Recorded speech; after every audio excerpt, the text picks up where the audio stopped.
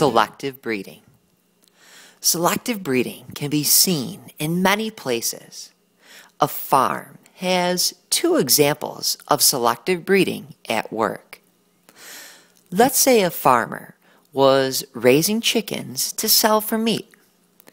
The farmer would like all of his chickens to be large in size.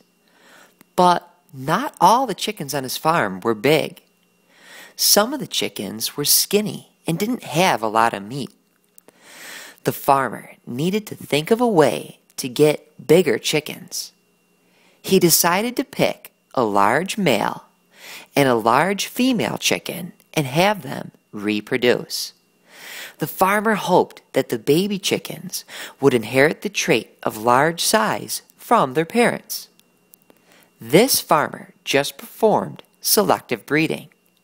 He picked organisms with desired traits and had them reproduce.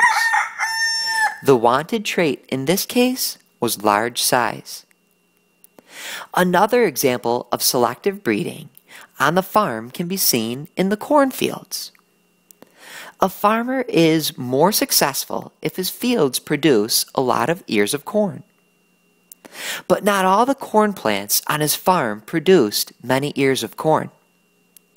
The farmer needed to think of a way to get his plants to produce more ears of corn. He decided to pick a plant that produced a lot of corn, crossbreed it with another plant that produced a lot of corn. The farmer hoped that the new corn plants would inherit the trait of producing many ears of corn. The farmer once again performed the process of selective breeding. He picked organisms with desired traits and had them reproduce. The wanted trait in this case was the ability to produce many ears of corn. The next time you're on a farm, look around and see the examples of selective breeding.